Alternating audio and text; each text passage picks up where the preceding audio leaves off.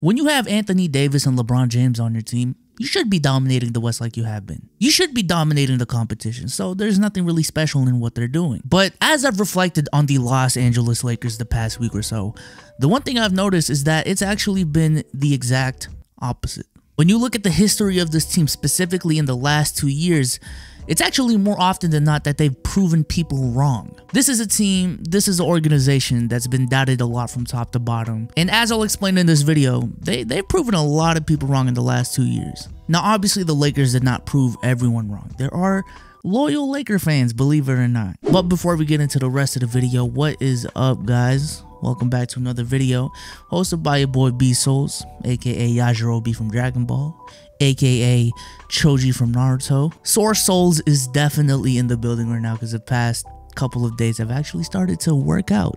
Yeah, yeah, me working out, right? Because word on the street is um your basketball opinion actually gets better.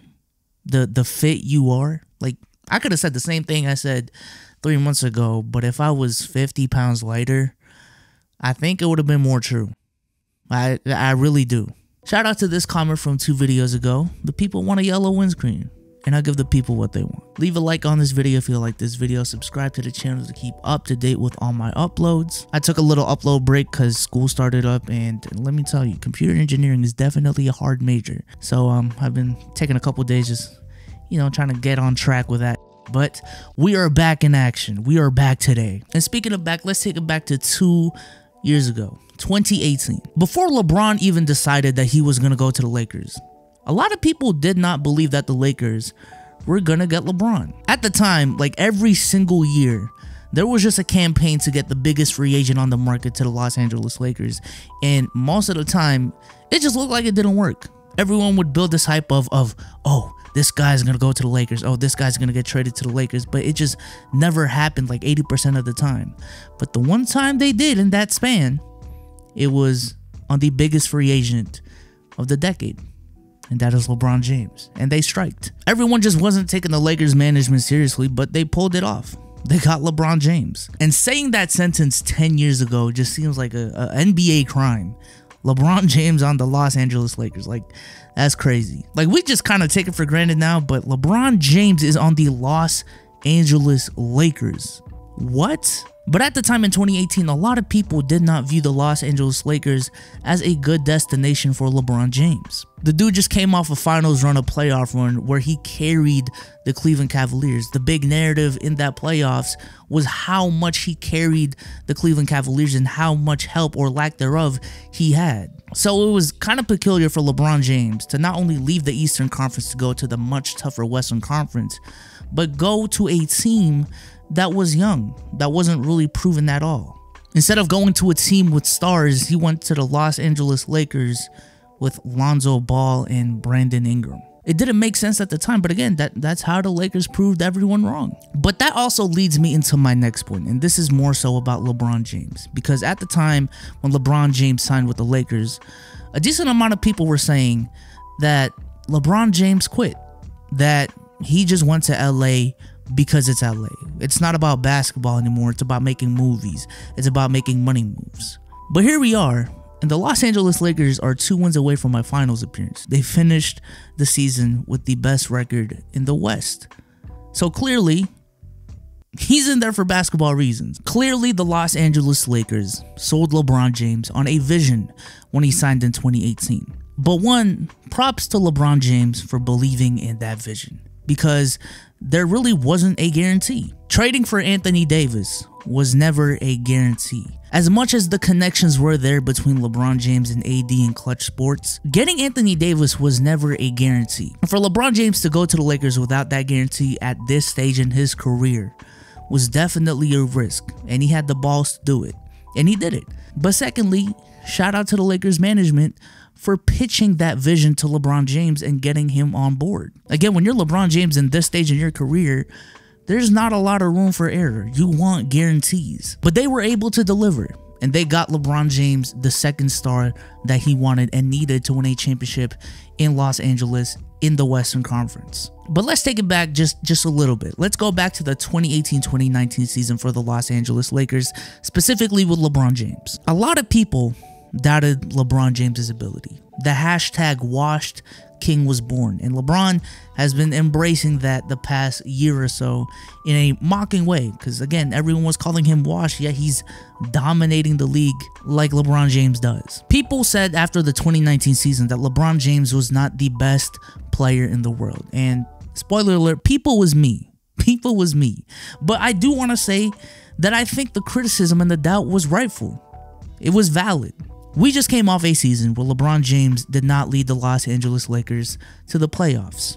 And in that same season, Kawhi Leonard was traded to the Toronto Raptors, and in his first year there, he led them to a championship, won finals MVP, had an historic playoff run where he played dominant basketball, and after the 2019 finals, was really making a case skill wise for being the most complete player in the game. So I believe going into the 2019-2020 season, there was at least at least a discussion for the best player in the league, like a legitimate discussion. And I believe at least LeBron James had to regain that throne back, at least to me. People like myself doubted LeBron James as being the best player in the league, but as the great ones do, and LeBron James is a great one, he proved me wrong. He proved me wrong because I am sitting here as of today saying that LeBron James is the best player in the NBA. Once again, after seeing how that Clippers series played out, right?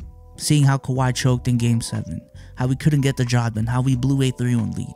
After seeing how Giannis performed in the second round against the Miami Heat, where his half-court abilities were just exposed and his lack of a shooting touch is still a problem and knowing the fact that Kevin Durant has not played basketball in a year and not knowing how he'll look post Achilles injury. I think we are back as a community to saying that LeBron James is the consensus best player in the NBA. So shout out to LeBron James for regaining and earning that throne back. But it's not even just that overall perception. When you get into the nitty gritty of things, a lot of people said that LeBron James's defense was looking sus. Like he either gave up or was just too old to even be effective on the defensive end anymore. And again, rightfully so. We were all there in 2019 and saw the defense he was playing. But this season, he proved everyone wrong once again. Because this season, he was playing really good defense, or at least to the point where you can say he's back to being a good defender. A decent amount of people also doubted if LeBron James could succeed in the West. However, I do want to clarify one thing. One thing.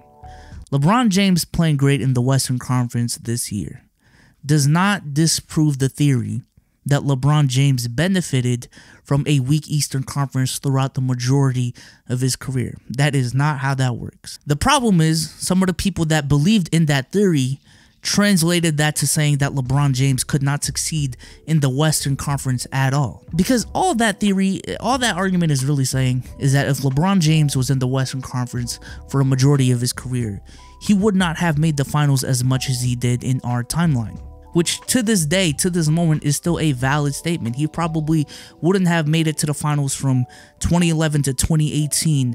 What is it? Eight straight years. But you know, before I get mistaken for um, hating on LeBron James, let me let me clarify that believing in that theory does not mean that LeBron James could not succeed in the Western Conference at all. And for the people who did believe that, you have been proven wrong this year. Now, going into the 2020 season, a lot of people did view the Los Angeles Lakers as a championship caliber team. But as with every team that's expected to win a championship but has not actually won a championship, there were a lot of doubts with this team. First, people had doubts with the Lakers' depth because they gave up a majority of it by trading Anthony Davis. But it turns out after getting veterans in free agency and trading for a couple pieces, that this Lakers team was much deeper than we thought. Alex Caruso, JaVale McGee, Dwight Howard, Rondo, KCP, Kyle Kuzma, Danny Green, these guys provide a lot of great depth to this team and have played much better than we ever thought they would. They said the coaching was sus because Frank Vogel was leading the way. A lot of people actually thought that because they hired Jason Kidd, that Frank Vogel was going to get fired like what 10 games into the season so Jason Kidd can actually be the head coach, but It turns out Frank Vogel is a great coach. And other individual players on the team have proven a lot of people wrong. Dwight Howard. Dwight Howard going into this year was kind of considered as an NBA afterthought who just kind of got left behind in the last era because the game is just transitioning into more shooting. He was one of the most hated players in the league. He was viewed as a team cancer, yet he is one of the most lovable figures on this Lakers team this year and is contributing really good minutes off the bench.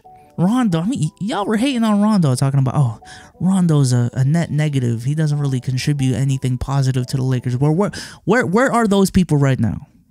Because y'all, y'all are seeing the greatness, the greatness that is playoff Rondo that I've been preaching about for a decade now. Since I was 10, I knew about playoff Rondo. And shout out to Rondo and Dwight specifically because those two were like the poster child of players that were left behind because the NBA is going into more shooting and people thought that they really couldn't contribute anything to a lot of teams because they couldn't shoot. But here they are and they are contributing big time to the championship favorites in the Lakers. So once again, shout out to those two. Big shouts to Dwight and Rondo. But everything I've said in the video so far, I could have made before a pandemic. But when the NBA came back, there was now a new layer of concern, a new layer of doubt with this team.